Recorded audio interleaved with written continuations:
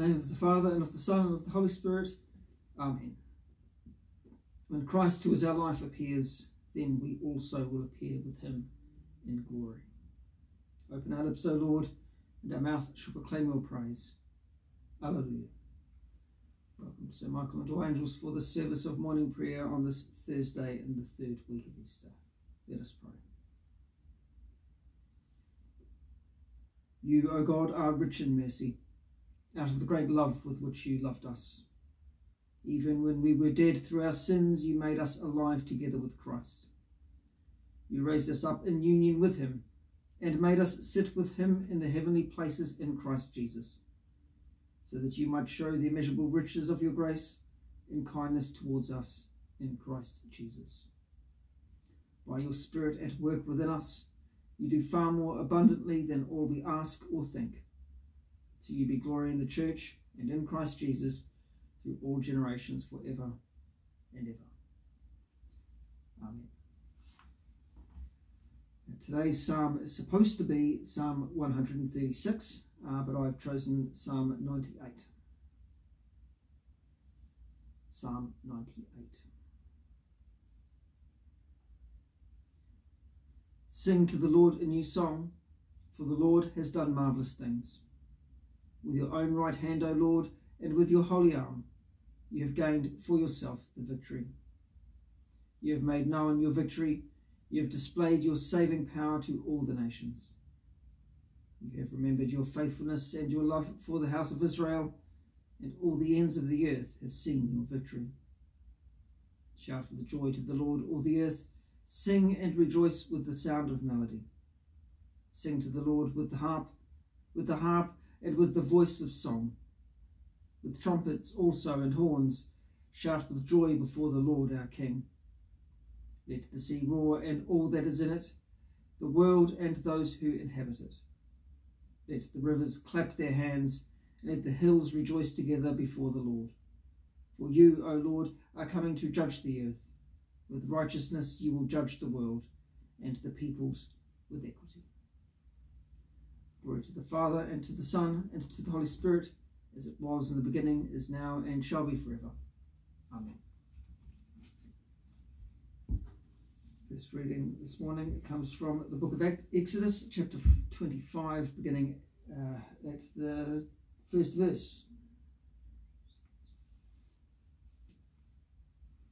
The Lord said to Moses, Tell the Israelites to take for me an offering from all whose hearts prompt them to give you, shall receive the offering for me. This is the offering that you shall receive from them gold, silver, and bronze, blue, purple, and crimson yarns and fine linen, goat's hair, tanned rams, skins, fine leather, acacia wood, oil for the lamps spices for the anointing oil and for the fragrant incense, onyx stones and gems to be set in the ephod and the breastpiece. And have them make me a sanctuary, so that I may dwell among them, in accordance with all that I show you concerning the pattern of the tabernacle and of all its furniture, so you shall make it.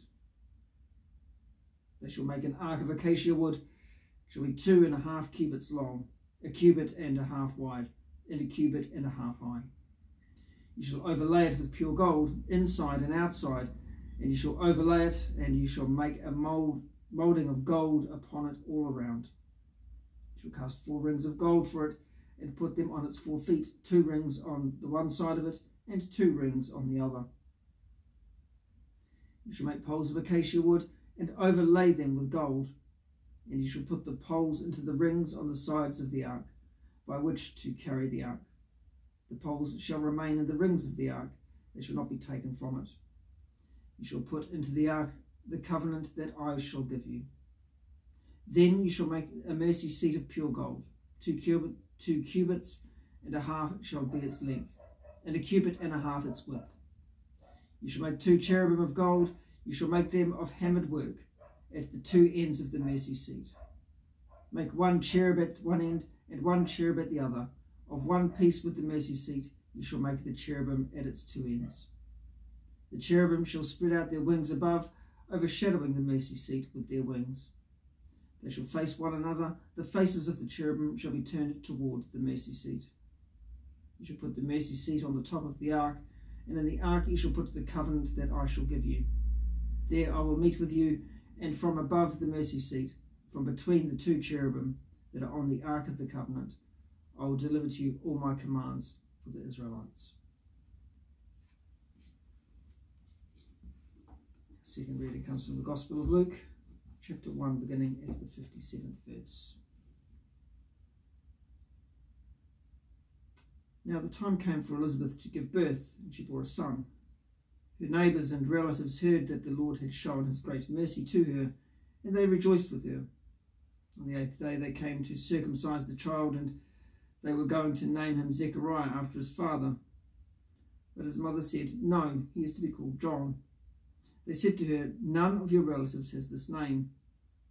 Then they began motioning to his father to find out what name he wanted to give him. He asked for a writing tablet and wrote, His name is John. And all of them were amazed.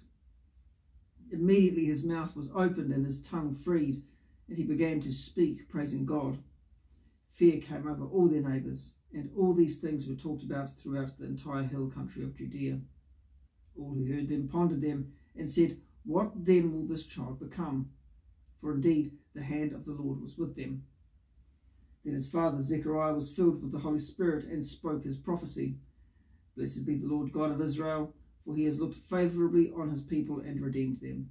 He has raised up a mighty Saviour for us in the house of his servant David, as he spoke through the mouth of his holy prophets from of old, that we would be saved from our enemies and from the hand of all who hate us. Thus he has shown the mercy promised to our ancestors, and has remembered his holy covenant, the oath that he swore to our ancestor Abraham to grant us that we, being rescued from the hands of our enemies, might serve him without fear, in holiness and righteousness before him all our days. And you, child, will be called the prophet of the Most High, and you will go before the Lord to prepare his ways, to give knowledge of salvation to his people by the forgiveness of their sins. By the tender mercy of our God, the dawn from on high shall break upon us, to give light to those who sit in darkness and in the shadow of death to guide our feet into the way of peace. The child grew and became strong in spirit, and he was in the wilderness until the day he appeared publicly to Israel. Hear what the Spirit is saying to the church. Thanks be to God. Blessed are the poor in spirit, for the kingdom of heaven is theirs. Blessed are the sorrowful, for they shall find consolation. Blessed are those of a gentle spirit, for they shall have the earth for their possession. Blessed are those who hunger and thirst to see right prevail, for they shall be satisfied. Blessed are those who show mercy, for mercy shall be shown to them. Blessed are those whose hearts are pure, for they shall see God. Blessed are the peacemakers, for they shall be called God's children. Blessed are those who have suffered persecution for the cause of right, for the kingdom of heaven is theirs. Glory to the Father, and to the Son, and to the Holy Spirit, as it was in the beginning, is now, and shall be forever. Amen. Let us pray.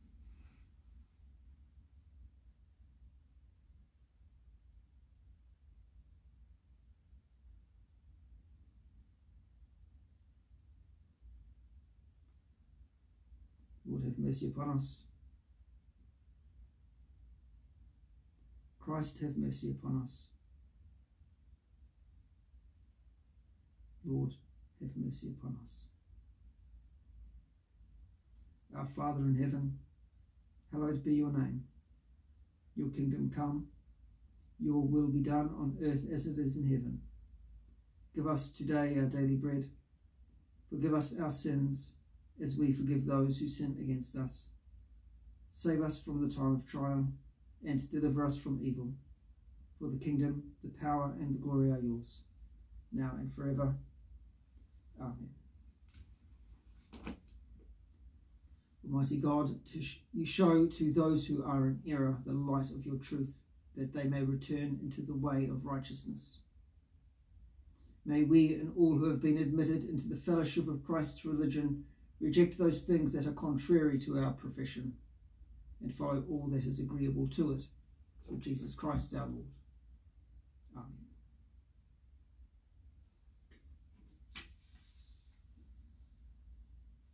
Gracious and holy Father, give us wisdom to perceive you, diligence to seek you, patience to wait for you, eyes to behold you, a heart to meditate upon you, and a life to proclaim you.